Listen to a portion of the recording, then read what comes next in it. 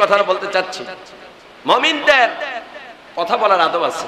আমাদের তো এখন আদব কায়দা নাই, কি বড় আর কি ছোট। মমিনদের কথা বলার কি আছে? আদব আছে, কিন্তু আদব আছে এখন। বাপে বাপে ছেলে একসাথে বসে বসে সিগারেট খায়। একসাথে বসে বসে গাঁজা খায়। নেশা করে বাপে আর ছেলে একসাথে বসে বসে। কথা কি একবার ভুল বললাম? বাস্তবতা নাই? আছে। কিসের আদব? কথা বলার আদব নাই, কাজেরও আদব নাই।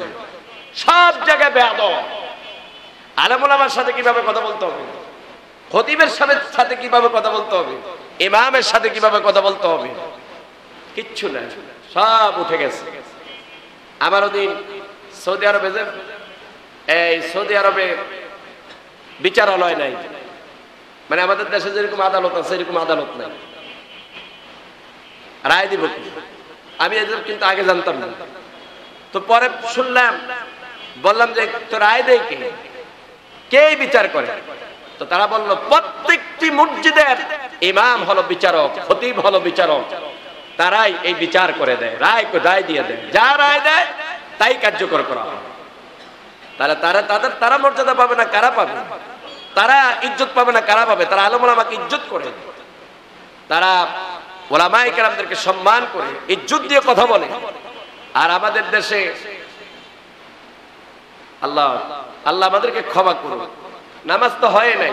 ইমামের ধমক দিয়ে কথা বলে নামাজ হবে? খতিবের সাথে কথা বলে নামাজ হবে? নামাজ শেষ।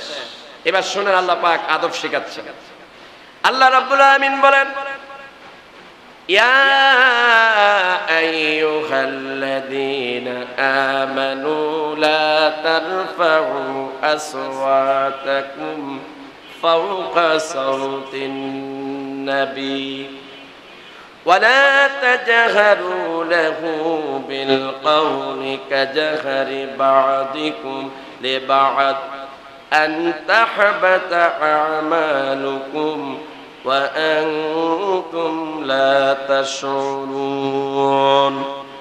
আল্লাহ রাব্বুল আলামিন বলেন, হে মুমিনেরা, হে বিশ্বাসীরা, তোমাদের কণ্ঠের আওয়াজের চাইতে যেন আমার রাসূলের কণ্ঠের আওয়াজের উপরে যেন তোমাদের আওয়াজ না উঠে যায়।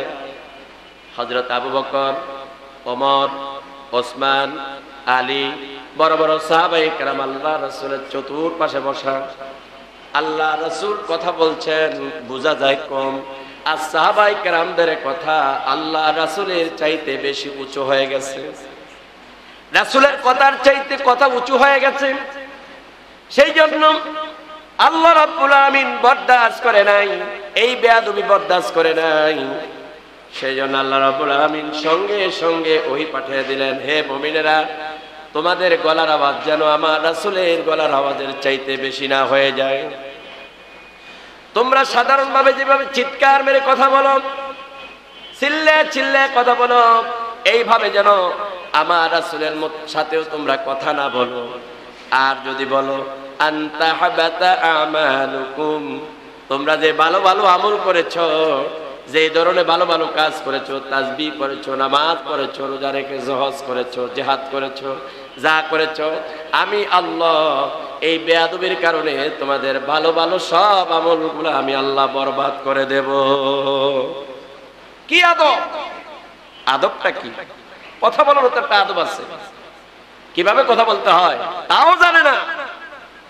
শরীরের গরমে, অর্থের গরমে কীভাবে কথা বলবে তাও ভুলে গেছে।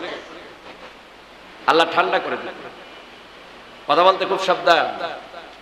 এগুলো যেন মনে থাকে। কথা বলবেন খুব আদবের সহিত। একজন মুসলমানের সাথে কীভাবে কথা বলতে হবে? মমিন, মমিনের সাথে কথা বলবে খুব আদবের সহিত। সুন্দরভাবে, শালীন ভাষায় কথা বলবে।